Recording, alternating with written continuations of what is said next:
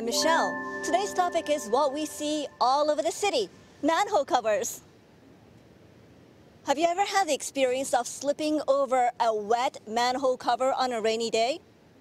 Well, today's Takumi or innovator has developed a cutting edge anti slip manhole cover. Let's go and find out what it's like.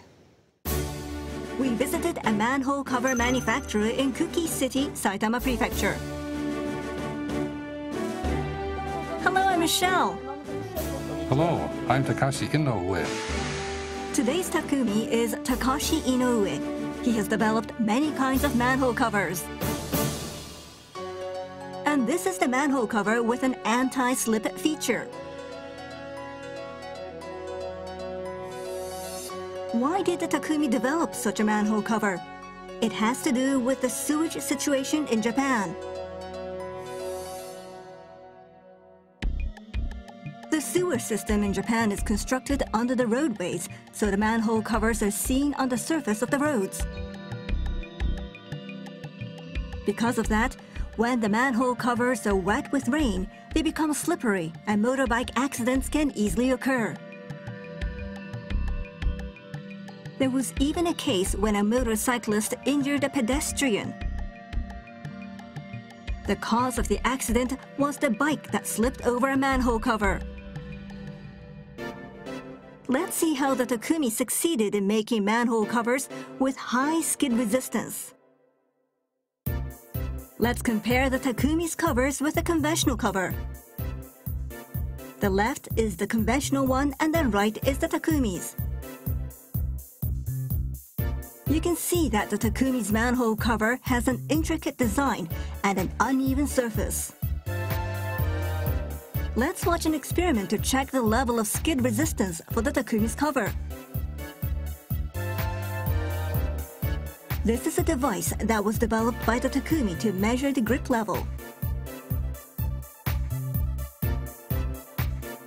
By applying the brakes to a rotating motorbike tire, the device can digitize the power of resistance.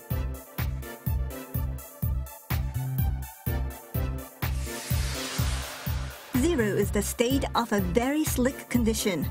One is the state of strong resistance, indicating a non-slip condition. For this experiment, the manhole cover is sprayed with water and the tire is rotated at 30 kilometers per hour. This is a concrete manhole cover made to resemble a road.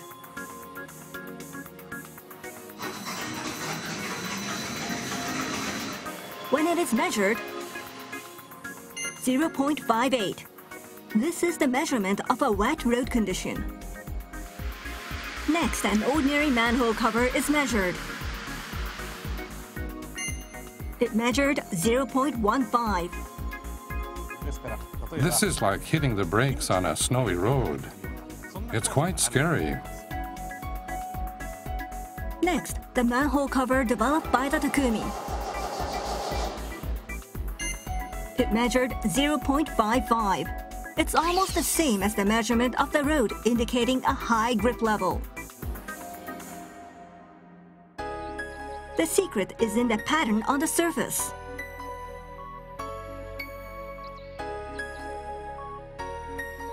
An ordinary manhole cover has a bigger design on the surface.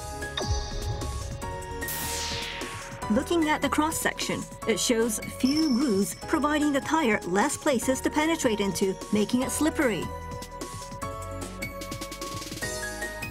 But the Takumi's manhole cover has a more intricate design.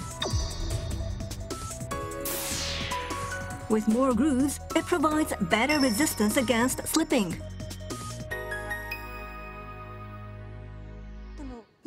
As you continue to use it, won't the manhole cover wear and become slippery? Normally, yes, but our manhole covers retain the non-slip state. The Takumi realized that good grip depends on the sharpness of the convex edges that come in contact with the tire and its area. So the Takumi created dents in the convex edges.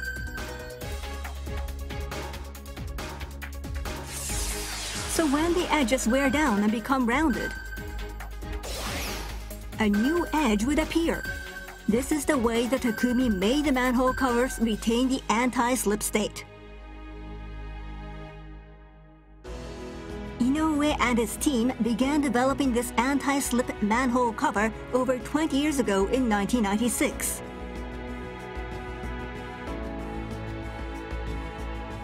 They're continuing to study the convex edges to create an even more durable and superior manhole cover. By pursuing the development of manhole covers, Inoue hopes to contribute to the improvement of road safety. I want to develop an even better one, a safer one, I will continue my pursuit to develop the next generation anti-slip manhole cover. Here we have the Takumi's anti-slip manhole covers.